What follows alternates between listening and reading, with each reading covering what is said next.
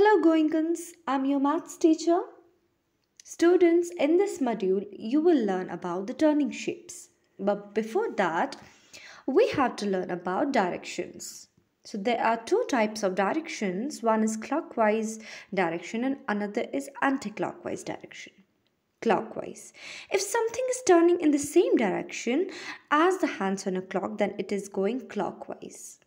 That means clockwise motion proceeds in the same direction as the clock's hand that is from top to the right, then down and then to the left and then back up to the top.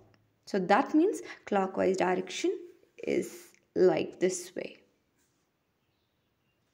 Now anti-clockwise direction. As the name suggests, anti means opposite clockwise. That means anti-clockwise direction is opposite to that of the clockwise direction. If something is turning in the opposite direction to the hands on a clock then it is going anti-clockwise. It involves a turn to the left then down then to the right and then back up to the top so anti-clockwise direction is like this way. Let's see some examples. We have Ferris wheel. It's moving in clockwise direction. That is from top to the right, then down, then to the left, then back up to the top. So like this way.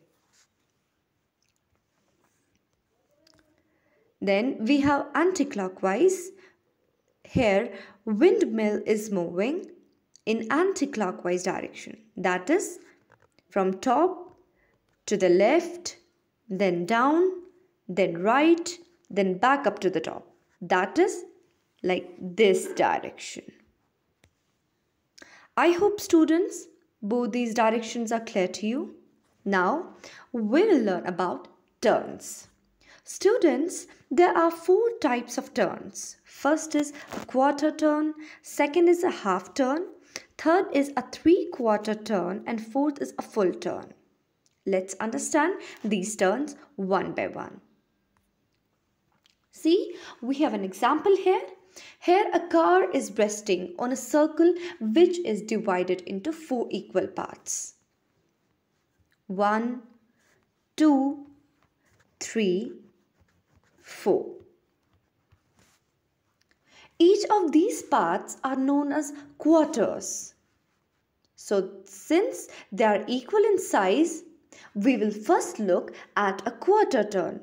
That means in this circle we have four quarters. This is 1, this is 2, this is 3 and this is 4.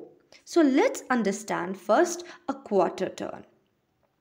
When a car moves clockwise direction, it reads it reads the first line just like this. It has turned through one of the four parts of the circle. This is a quarter turn. Let's see an example. We have an arrow we have to give this arrow a quarter turn in a clockwise direction. So it will be like this after turning a quarter. I hope students this is clear to you. One more important thing students, quarter, one quarter, one quarter is equal to 1 by 4 of the full circle. Now let's see a half turn. Students, as the car reaches the second line, it has turned through two of the four parts of the circle. This is a half turn. So a half turn results in the object facing is opposite direction to the direction it was originally facing.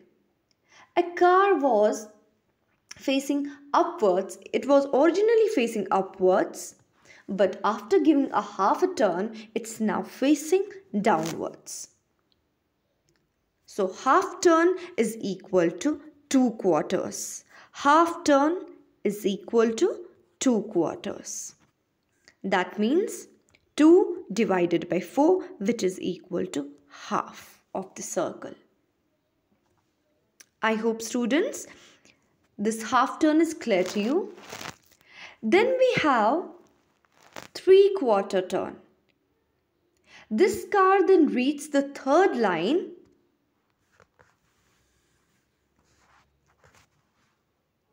and has turned through three of the four parts of the circle. This is a three quarter turn and three quarter turn is equal to 3 by 4 of the full circle.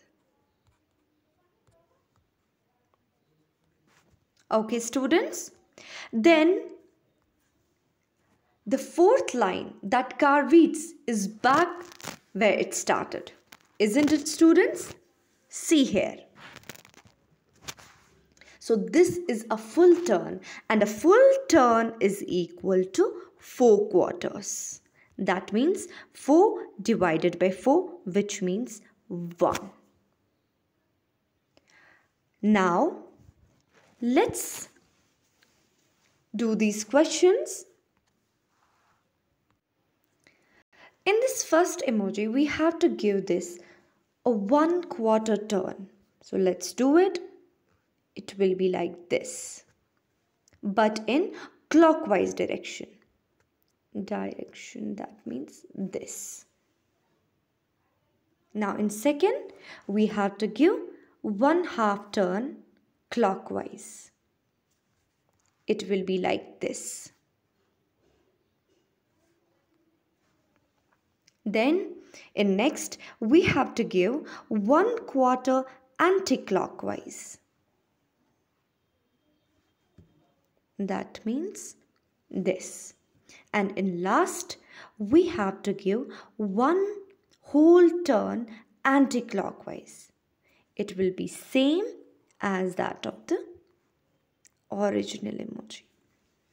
I hope students these turns are clear to you. Now i hope you can do exercise number 2 which is in your book on page number 119 and 120 Thank you very much, students.